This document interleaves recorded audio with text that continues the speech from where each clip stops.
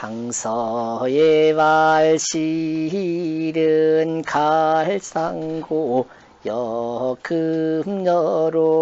해망이라니 민욕여지 해망이면 수유대지 조수나 기능 동락제리 있고 자는 인서이 석지하사 이명불현재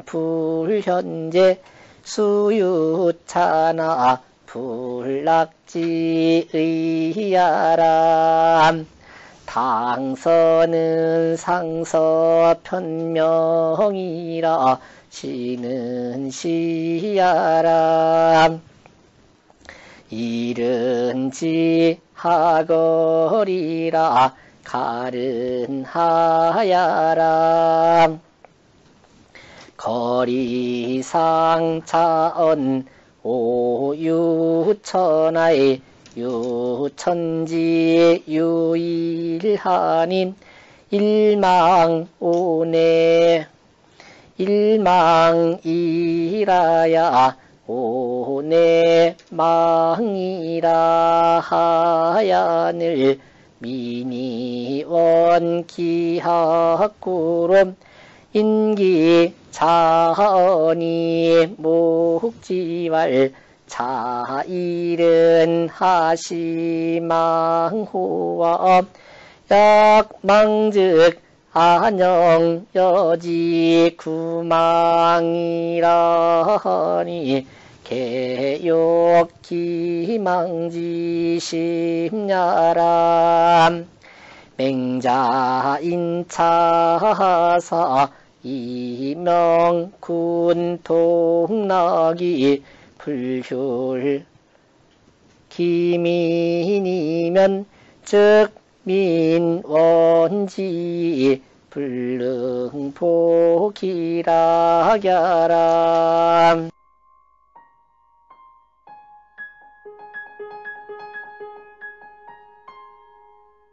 이제는 그 현자가 못 뛰고서도 현명하게 처신하지 못하고서도 혼자 즐기려고 했던 그 실패 사례를 예를 들은 거죠. 탕서의 왈. 탕서는 서경에 있는 편명 이름입니다. 음. 탕서에 이르기를 시일은 갈상고. 시자는 때시자가 아니라 이시자예요. 아, 이놈의 태양은, 이놈의 해는 갈상. 해자인데 해라고 한, 음, 갈이라고 읽어요. 이놈의 해는 언제 없어질는고. 여, 금여로 해망이라 하니 내가 저 그 태양을 가리키면서 하는 말이에요. 저는 뭐 해와 함께 함께 죽어버릴 것이다.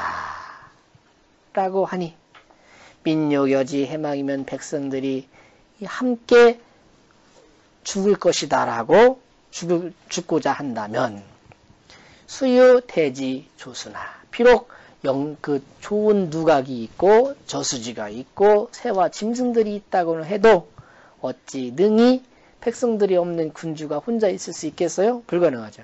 어찌 능히 홀로 즐길 수 있겠는가? 차는 인서의 석자사 이명 불연자 수유차나 불락제여라. 이것은 서경에 있는 글을 인용해서 풀이해서 불연자, 어질지 못한 사람이 비록 이러한 것이 있다고는 해도 즐길 수 없다라는 것을 밝힌 내용이다 이거죠. 탕서는 상서 편명이라 탕서는 상서, 서경을 상서라고도 하지요. 상서 편명이다 이거죠. 신은 때시자를 썼지만 신은 이시자의 의미다 이거죠. 일은 저기 해일자예요. 날일이 아니라 해일자예요. 일은 지 하걸이라 하, 하나라 걸림금 걸주 있죠. 걸림금을 가리켜서 하는 말이다 이거죠. 왜 그러냐면 그 밑에 나와 있어요. 갈은 어찌 갈자예요, 이게. 어찌 하자인데, 어찌 갈.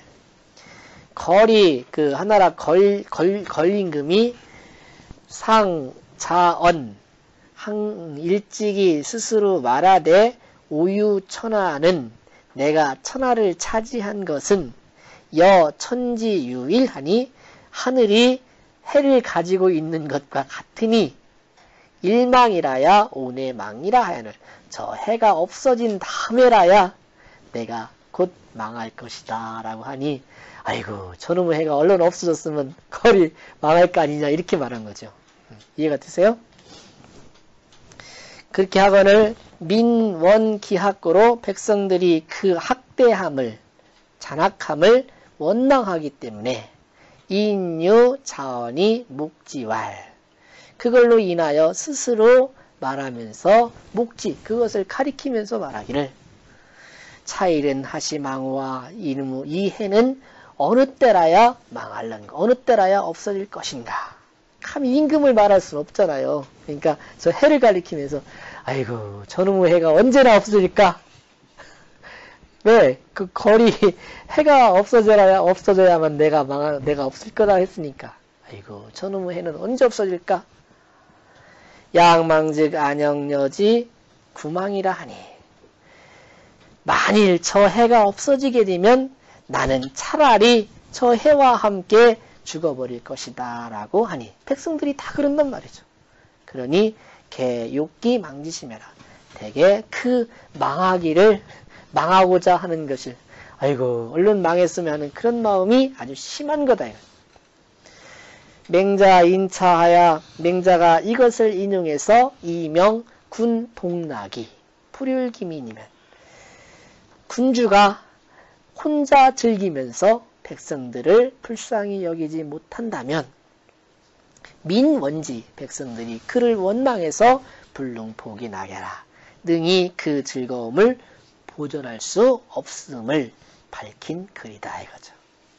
이해가 되시죠?